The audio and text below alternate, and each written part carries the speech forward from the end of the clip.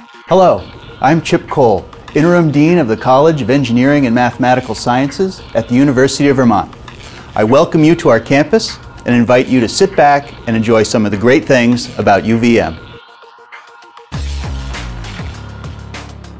We challenge our students every day to use their imagination to create innovative solutions and be intellectually curious and find the holes in their scientific intuition.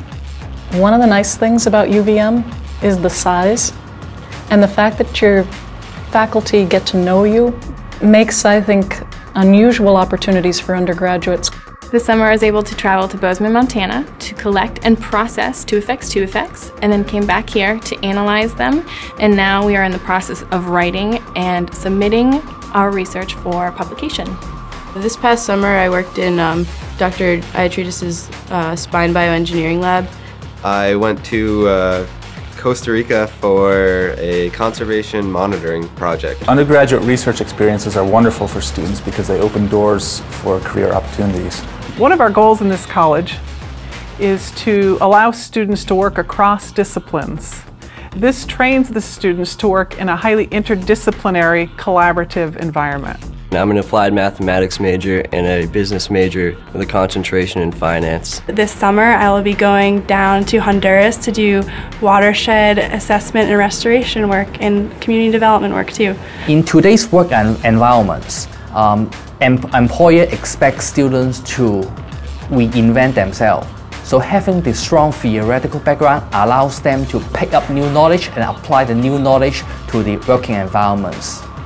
My goal as a researcher is to uh, make electricity more reliable, more economically efficient, and with less environmental cost.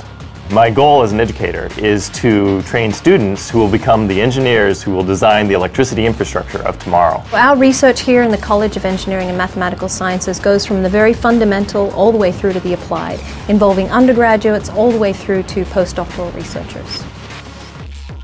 For me as an international student coming from Germany, I was amazed by the level of hospitality and interest that was shown in me, um, especially by the teaching staff and our advisors who helped me settle in and actually made it possible for me to call UVM home. As uh, students here, it's easy to get involved because there are many clubs and association organization for students that you want that you have interest in anything that you want. I mean, if you can walk through the snow, yeah, you can do anything you want here. Downtown Burlington is actually one of the most key points why I came here. It's very close, it's within walking distance. There are tons of live bands all the time. There's great restaurants, there's the mall down there, there's cute little boutique shops. Um, it's just a great time down there. And then waterfront's close, you can go down there, watch a sunset, or just hang out by the water, play some frisbee. It's really nice how close it is. And the fact that Burlington is so close to Montreal and Boston, it allows me to do a weekend trip to this city to enjoy their rich cultural activities. I encourage students to pursue their passion while here on campus. Knock on doors, find out what your professors are doing, and get involved in research projects here at the undergraduate level. As an undergraduate myself, I took the initiative, found out what my professors were working on, and I was fortunate to get involved with a professor who was building robots, and luckily for me that led to a career in robotics and research uh, here at UVM.